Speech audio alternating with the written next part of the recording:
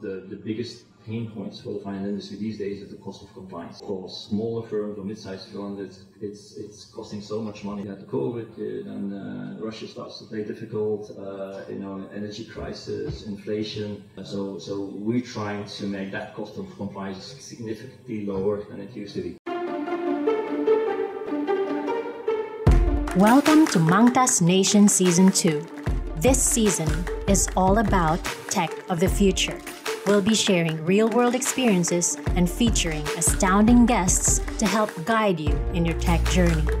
Are you ready? I'm ready. I'm ready. I'm ready. I'm ready. The show starts right now. Hello, everyone. This is Jackie DeMunk together with Wouter Del Valle, and welcome to the Mangtas Nation podcast. In today's episode, we roll out our red carpet and bring out some beers for a very special Belgian guest. He saw a gap in the finance industry and set to fill it out with his company, Elysian NXT. He's revolutionizing the way financial institutions manage risk and comply with regulations, making it more efficient and cost effective. With his leadership and expertise, he is paving the way in the fintech industry and shaping the future of finance. Listeners, it's time to get some deeper insights from the CEO and founder of Elysian NXT, Chris Puype. Wow, Chris, thank you for being here with us today. Thanks, Jackie. Thanks for the great introduction. well, we're definitely uh, thrilled to have you here today to share your insights and expertise with our listeners. But before we dive into the conversation, can you tell us a bit about yourself and your background, Chris? Uh, sure. As, as, you said, I'm, I'm originally from Belgium, uh, but I'm, I'm, currently, my home is uh, Bangkok, Thailand. So uh, I'm uh, I say an old guy in industry.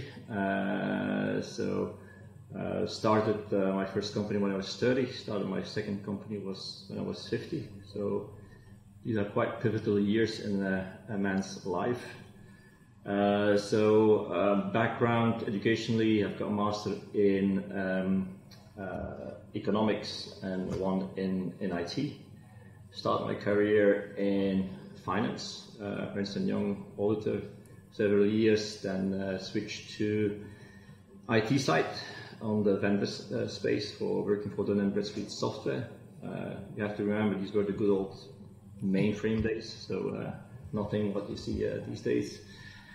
I started working for a small uh, Belgian company at that time, which was FICS. I was sent to London for three years working for an investment bank uh, as a consultant on a project which was basically building an enterprise-wide uh, sub-ledger for financial controllers.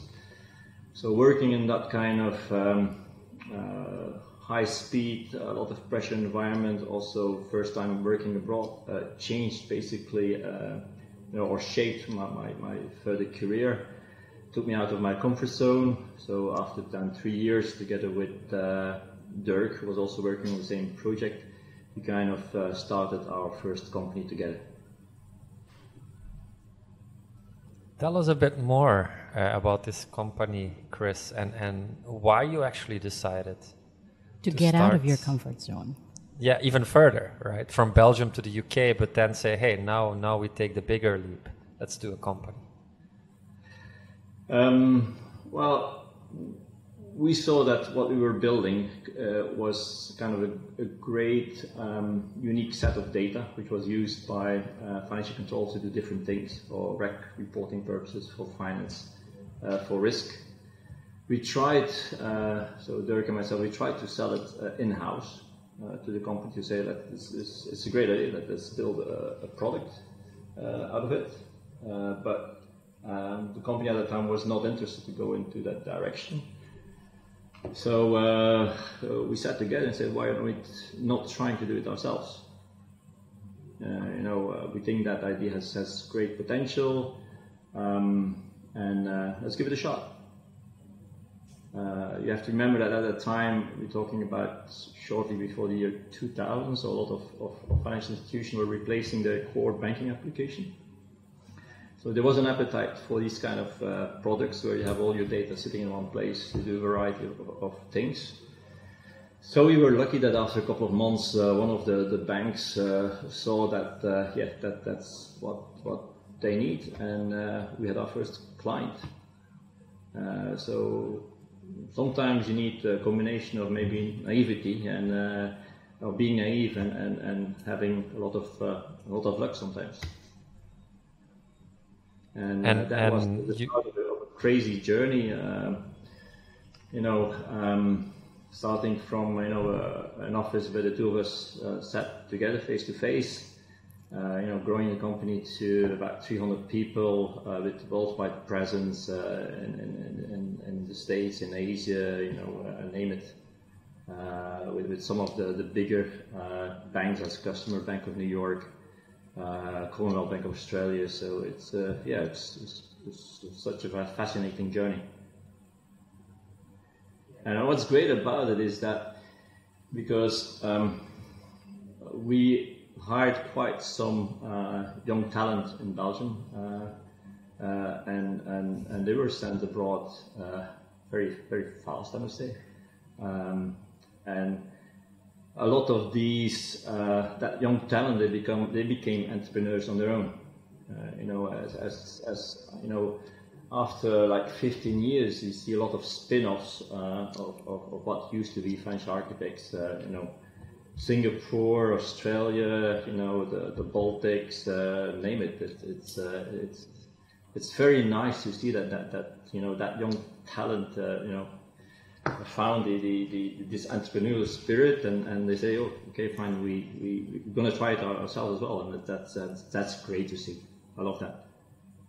There are a lot of influencers today, but back in the day, Chris was the influencer. In a way.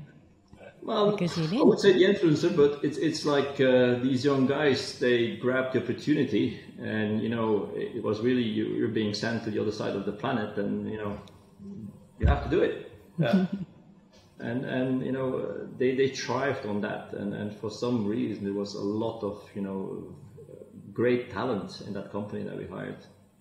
You know, and it's. Uh, again, it's, it's lovely to see all these uh, these these uh, entrepreneurial spin-offs from from the, the original flagship. A- And was that part of your core strategy going in? Did you know that that was going to be a big part of your growth strategy to get these young kids and, and basically, you know, send them on a journey? Well, we didn't do a lot of strategy, to be honest. Uh, it was a kind of, I would say, uh, you know, um, uh, it's a it's a big difference, as, as you know, working for a big company or working for a, for a startup.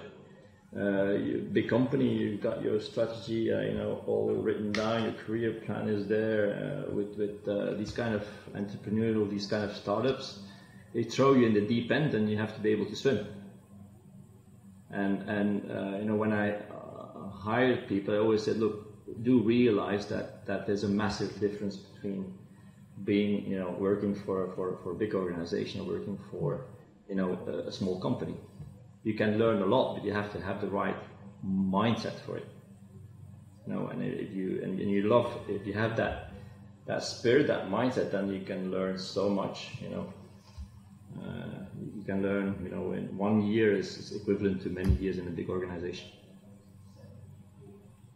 And and not only did you manage to start something from nothing, right? You did it with with a friend, as you mentioned. Correct. Uh, you made it big. You went global, successful, profitable, all of that. What many entrepreneurs also strive for is an exit. So you said yours, you have two. So you managed an exit as well, Chris. Can you tell us a bit about that? Yeah, and, and I would say this is one very important uh, lesson I always give to, to people who are in the startup uh, business to say, look, work on, on your on, on on your cash, you know, and um, lucky enough, you know, the world is very different now than it was uh, around the year 2000. There's, there's a lot of cash available. There's a lot of venture capitalists. But also say, do realize, you know, once you have a VC on board, there is an exit strategy. Know, even if it's a small percentage or a small participation that they have in the company, it is an exit strategy. You know, these guys want to get out in five years' time. Yeah. So it's it's kind of a you know, I, I, I do remember that that when we had our first VC on board, that Dirk came to see me and said, "Chris, this is fundamentally going to be a you know a different game from now on." Because there's now external capital on board, these guys they, they have a clear exit strategy in their mind. And uh, you know, uh, you, you do have to realize it when you start up a company. Now, it's a very important choice. Uh, do I grow organically or uh, do I do it with, with the help of external capital? When it and comes how did that feel? Sorry, how did that feel? Like to exit? Like um, your baby all of a sudden. Uh, it, it's yeah, it's always. Well, I must say it was a, a tough moment uh, because I, I, do realize, and uh, I was sitting in, in, in, in, the Bangkok office, and I said, "This is you know this is the best time of my life. It will never be so much fun anymore." You know. Uh, so so selling it was was kind of painful decision, but with all respect to to to Dirk and the VCs on board, um, they uh, VCs had a long term strategy. They support us all all the way. So you know, uh, I fully respect their decision to say, okay, at a certain moment in time, when the price is right for all parties, and the the the the, the, the part who's taking over the baby, that you see, okay, there's a strategy behind it and you can live with that, then uh, it's the right moment in time. And then, so this is, you were 30, you started this, you exited, and then you started on a second entrepreneurial baby. You had a bug again, you, you got tired of corporate. What was the thinking? I, I stayed uh, with with with uh, WK who took over uh, Financial Architects for uh, for five years uh, with with full intention because uh, you know I, I, I liked what they were doing with the company I liked the, the strategy.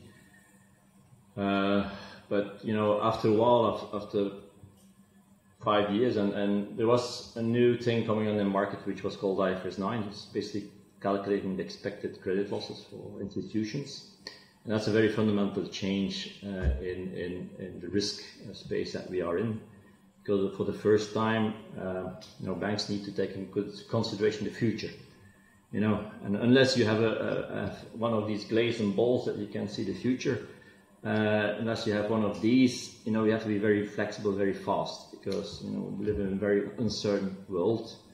So um, it requires lots of calculations, lots of modeling so we realized with, with, with the technology that we had at that time, which was batch driven, I said this is impossible to, to do it in a timely fashion or to be able to, to, to run simulations. So uh, we sat down with, with a couple of people uh, of, of, the, of, of, of the old uh, FinArch gang to say, okay, they felt the same kind of frustration from a product point of view to say that we need to do something because, you know, it's, um, it's not nice having to sell a product that you know you know it's it's going to be difficult to meet what the banks really need with uh, you know the kind of uh, time simulations pressure that, that's on them. So and that was the reason why we at a certain point in time we decided we're going to start uh, a new company, uh, which was you know Elysian NXT, based around the idea let's use uh, you know streaming technology to be able to do calculations uh, in, in, in uh, real time.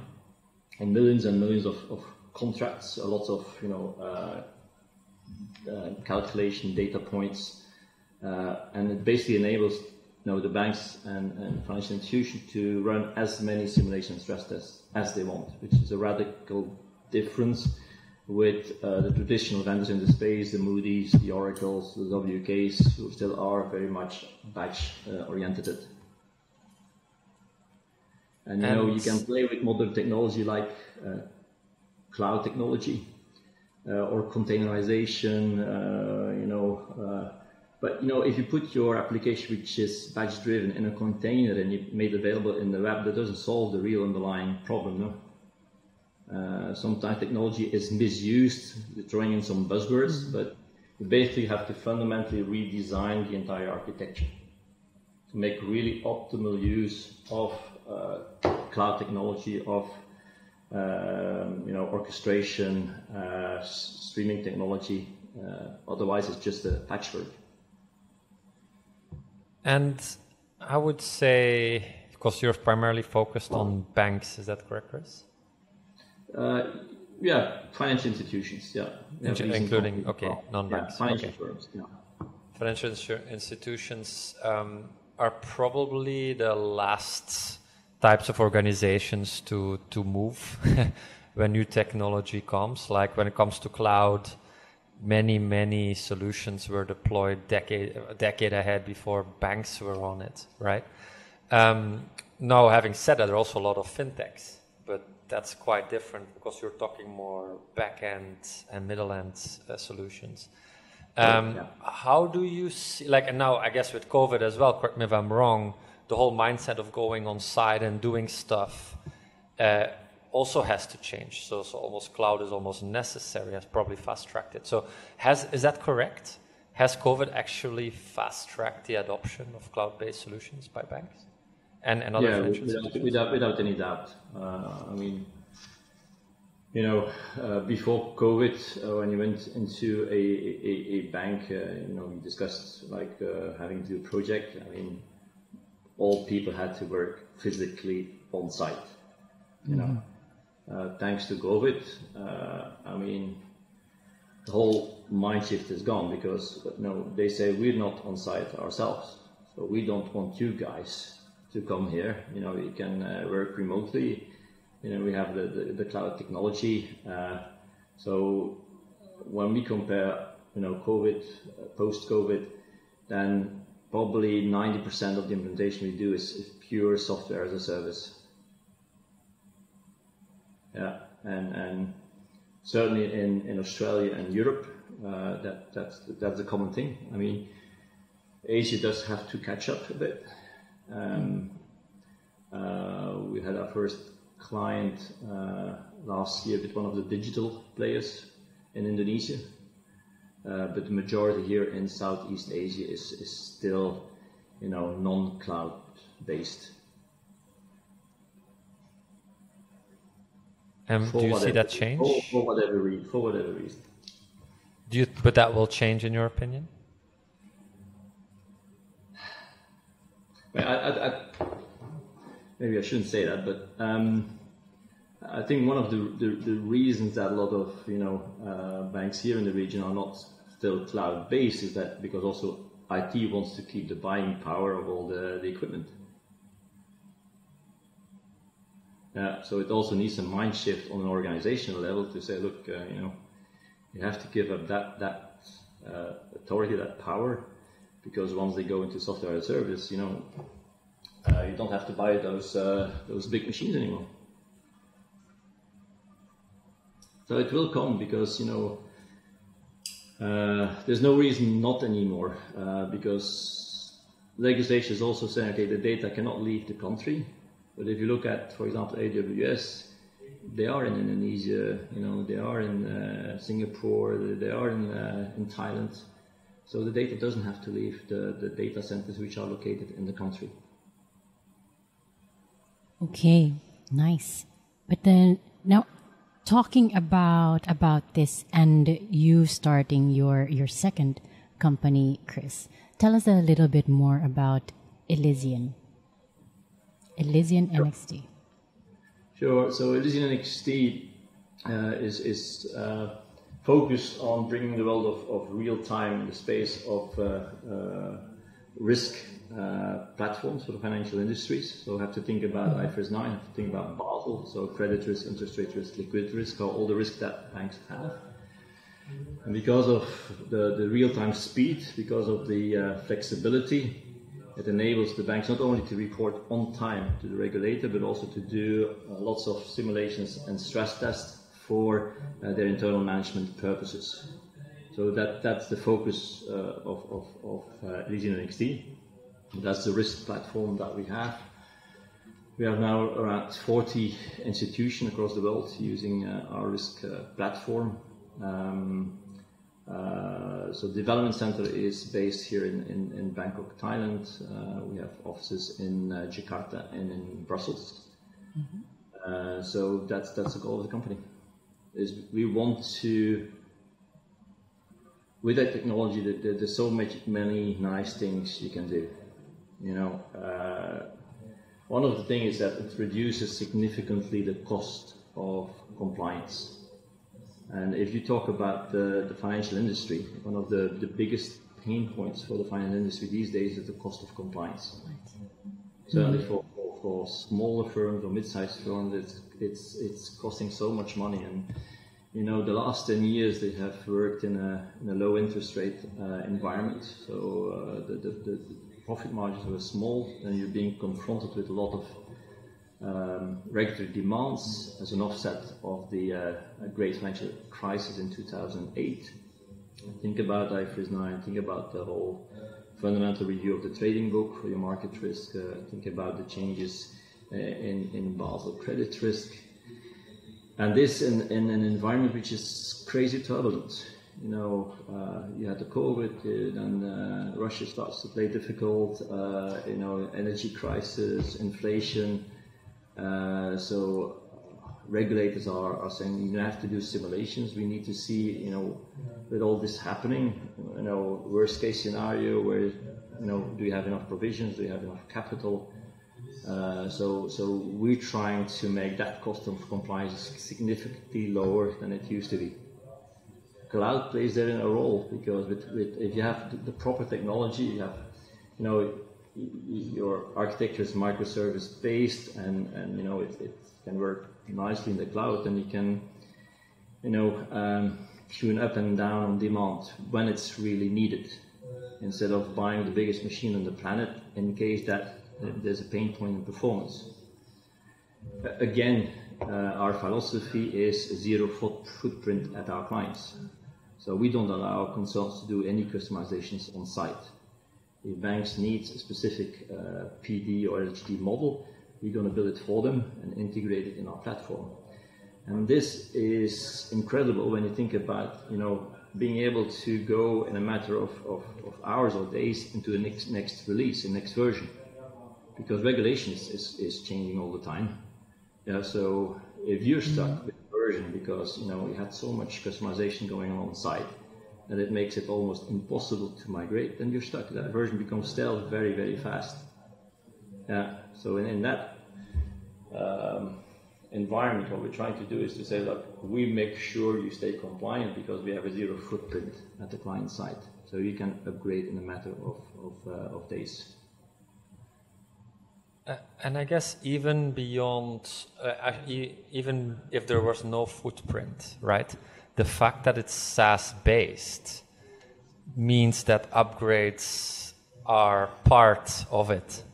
I'm presuming, like that, an upgrade in itself is going to be extremely taken care of. So, so that's, I mean, an upgrade can take a year. Correct. Exactly. So yeah. something that can normally take a year for some technical upgrade is now done instantly for them without anything to worry about, right? Uh, so uh, that, that's the upgrade component.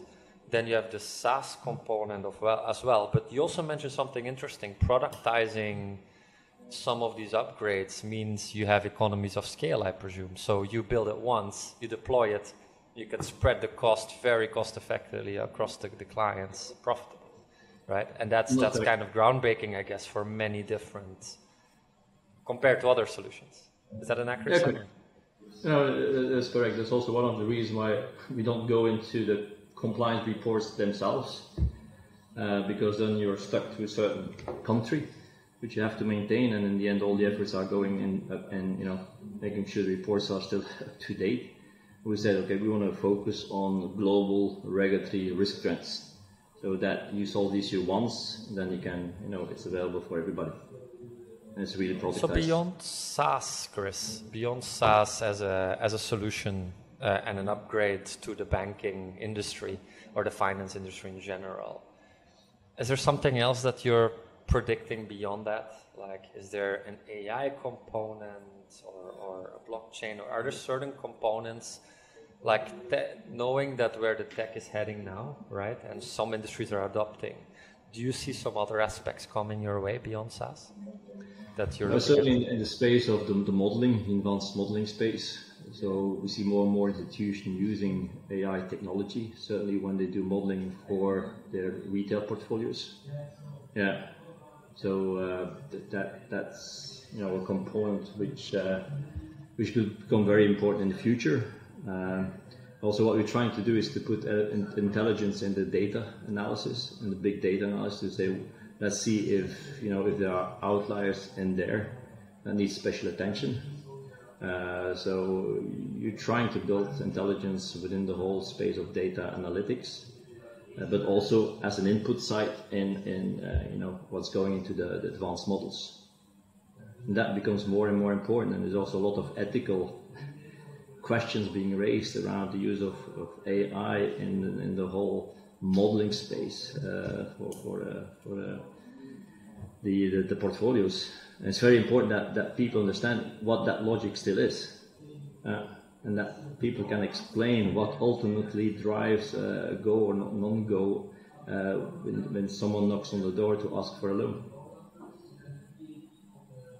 And I guess explainability is one thing, but you mentioned something interesting uh, ethics. Could you give an example um, of where you would apply ethics uh, to this, to, to the modeling?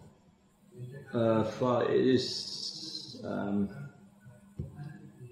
it's a, it's a touchy subject uh, to say fine you know um, and, and, certainly in the, in the space of uh, uh, you know credit risk retail portfolios in terms of you know background of people educational settings uh, race uh, religion uh, all the parameters that go ultimately in the model. And someone needs to supervise it that you know um, that that AI thing is not going too uh, too crazy. Rogue. Yeah. Overgeneralize based on past data. Overgeneralizing, yeah, overgeneralizing. Like this religion is impacting, so let's make some. Ah, okay, interesting. Which um, is a um, very uh, uh, topic for the moment. Now. Oh yeah.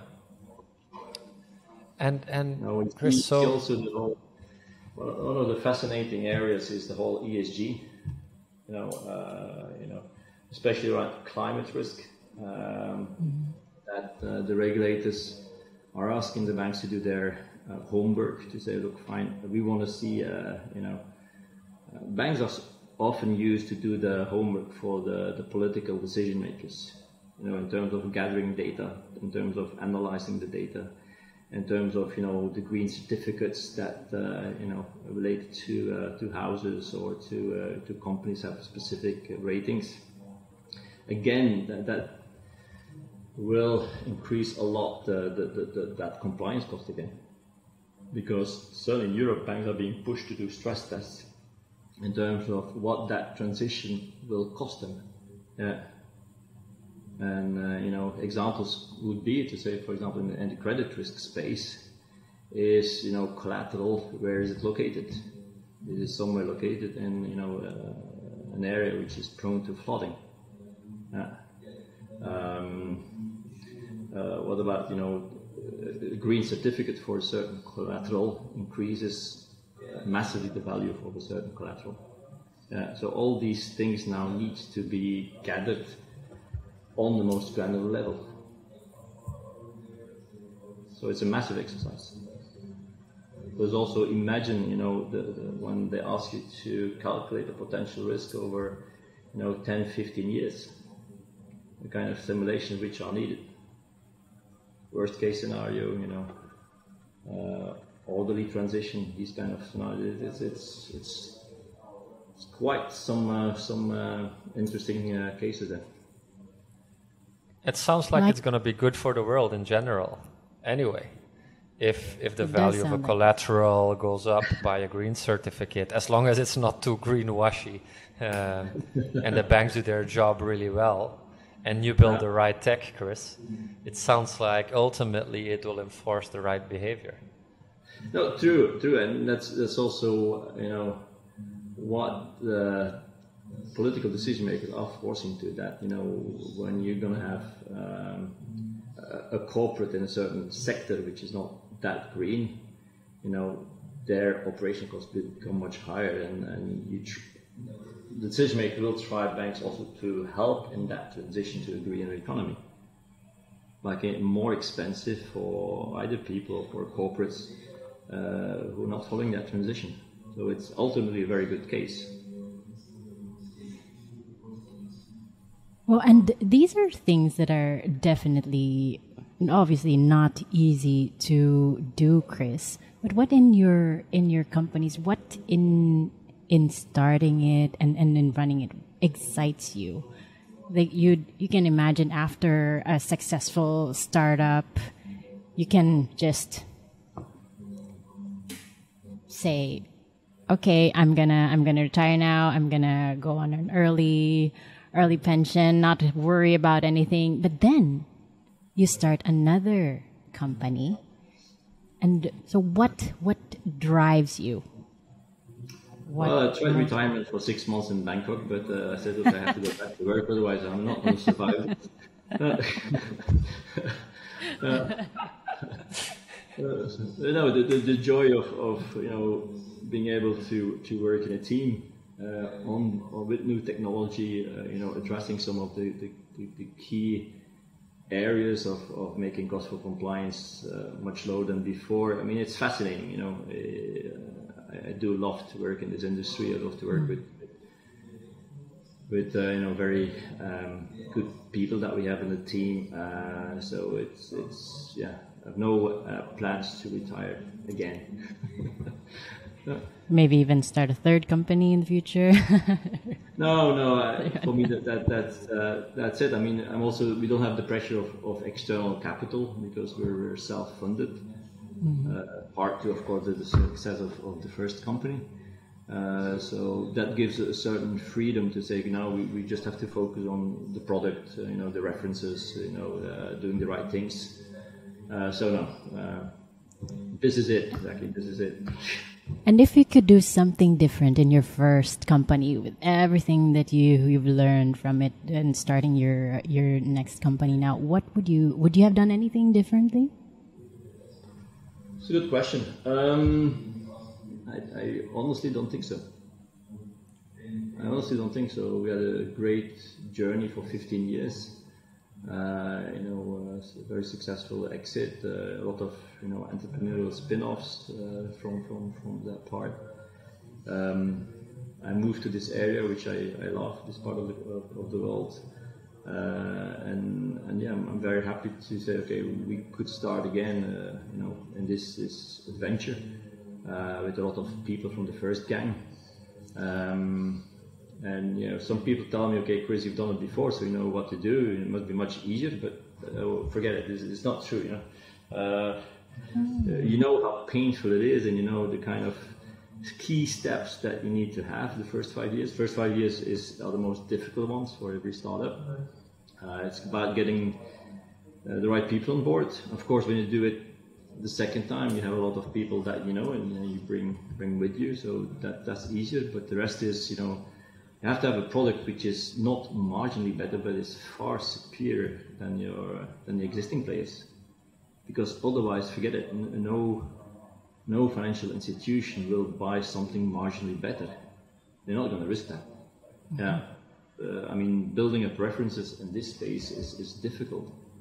You know, uh, you go to a bank, uh, you're in the selection, they ask you, okay, can you give me the three years financial statements? Hello, we're startup. Yeah, uh, so you really, and we were very lucky that uh, very early, uh, you know, the biggest bank in Indonesia, you know, realized that that platform could do what they wanted to do. Uh, they only had a window of, of, you know, three, four hours to run their calculations. And, uh, you know, they tested the platform and said, yeah, this, this has the, you know, the capacity to do it. Uh, so we were very lucky that, that you know, because often you're confronted with you know pages and pages of RFIs, RFPs. They ask for features, features, features, features. Instead of looking, you know, what's you know what's the, underneath the platform? You know, what does it do different?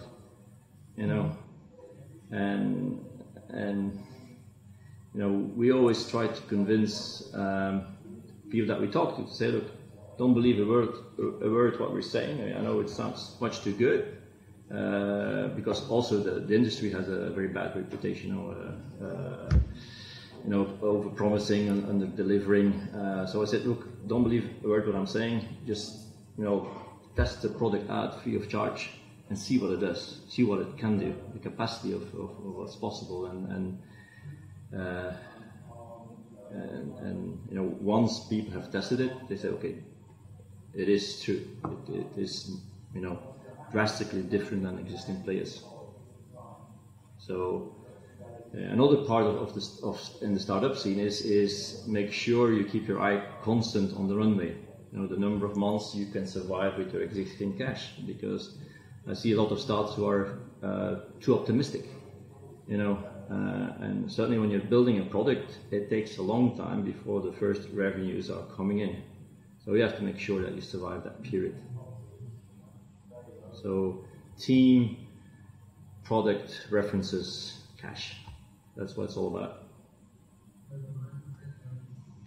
And is there something you took from startup one, business one, besides people, okay, that you then brought to, to two, where you say, I learned so much and this is going to fast track and, and really turbo boost the way I'm going to execute on business too.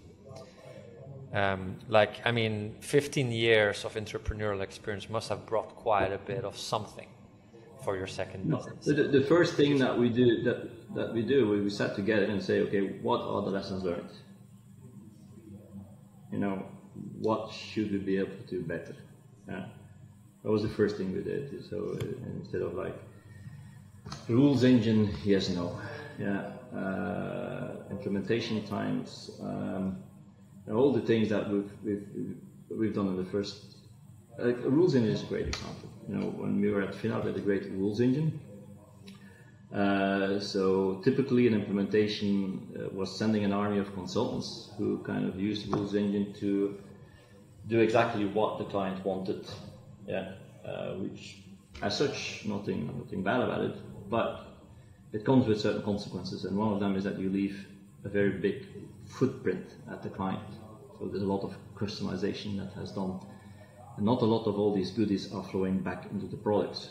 So that was one of a, a very key important lesson, and that's basically nothing to do with technology, but more kind of an approach to say, look, we're not going to uh, head that path, and that has painful financial consequences because you lose that, that beautiful uh, you know consulting revenue you know uh, certainly in the first couple of years because you have to build everything within the product free of charge but ultimately I mean the, the, the, the advantages is, is, is, is huge no?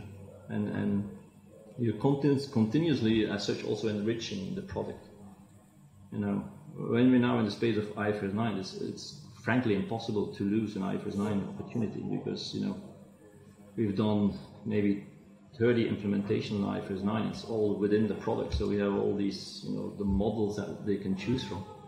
It's crazy. So it's indeed it's you sit down, okay, rules engine, speed of implementation, you know, uh, performance, data duplication, all these kind of stuff that you say we're gonna try to do it drastically different. Because if you don't do that, you're going to make the same mistakes all over again. uh, it's it sounds like a very deep understanding of the domain and the systems and the approaches that you build up as you go and assess you build your business and, and compare yourself and now you have a blank slate and you can start again well, that seems to be like I'm not, almost. I'm not. I'm not Elon Musk, who is good in so many things. I'm only good in one thing. So yeah, this is the, the risk domain. uh, Fascinating. Well, you can try to get out of your comfort zone again, Chris. And you went from Belgium to London after all, Chris. That's that's, that's a jump. But it's also because you know you're in Bangkok.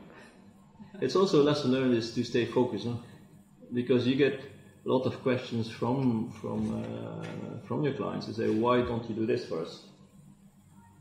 And then you have to have discipline to say, no, because we want to be the best company in, in these specific you know, risk management solutions.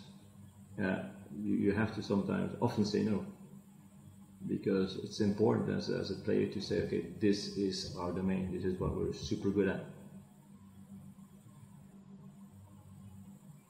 Do you find that refreshing to be able to say no? Um, it's painful, but you have to. Uh, uh, no, I think All I, right. I, I, I, I did it a couple of times. Uh, let's say more than once in the last uh, 12 months, and I find it very, very refreshing um, to be able to do it. It's painful, but but in the bigger Yeah. scheme of things, it shows that you're focused. yeah, indeed. I, uh, indeed. I like it. Indeed. Indeed. I think our clients like that as well from us to say, okay, you know, these guys every year they bring out a new new version. It's always improving what they're doing. You know, it's enriching. It's uh, you know, we're not doing thousand one uh, different things. We, we stick to what we're good at. And do you work mostly with uh, big banks, Chris, or you also work with uh, smaller banks? It's a very good question. You know, uh, with our first company, because of, of the way solution was built, the way the solution was implemented, you could only target mid-size and big banks. You know, when we have this, everything is coming out of the box approach, we have very small clients as well. We can implement, uh, we did implementation in Australia for one of the, the, the, smaller uh, mutual funds in, in, in four weeks, a BAS implementation, credit RWA. Uh, it runs in SaaS, so it's uh, we our pricing is on the volumes that our clients have. So if you come with 5,000 contracts, you pay this price. You come with 10 million contracts, it's a different ballgame. And, and it's, it's very refreshing also to work with, with uh, not only with the big boys, but also with, you know, with, with uh, digital banks, startup banks, uh, smaller banks. It's, it's, it's nice. It's refreshing. So, so beyond beyond, you know, doing this with a team, conquering the world, you know, um, having fun, you know, operating in the space you uh, you you're you're really good at. What's the vision, Chris? What's the end game? The end game is the number one player globally in uh, risk management platforms. We want to conquer the world. Boom. And uh, for businesses interested in connecting with you, Chris, where can they find you or how can they best get in touch with you? Uh, very easy to uh, look for my name in, in, uh, in LinkedIn. I have a very unique uh, surname, uh, Puype, P-U-I-P-E. So very easy to find me back or just on the website www.elysiannxt.com. Uh, Fantastic. All right. Well, uh, Chris, thank you for taking the time to be with us today. Your Thank you for having insights. yeah, it was a Thank pleasure. you. Your insights have de- definitely been uh, incredible and valuable, and we think that all the work that you do in the fintech space is just absolutely incredible. Thank you. Yeah. Well, it's a it's a wrap for today's episode of Mangtas Nation. We hope you enjoy the conversation and learned something new today. Don't forget to subscribe and leave a review. It helps others discover our show. We promise to be back next time with another great episode. And once again, this is Jackie DeMank. And Wouter Del Bare. Stay tuned for the next episode of Mangtas Nation. Thank you, Chris. Thank you for tuning in to Mangtas Nation. Mangtas, your curated marketplace for B2B outsourcing solutions. Follow our social media pages to know more about us. Sign up as a client or sign up as a vendor and be part of this global B2B marketplace. Join us at www.mangtas.com.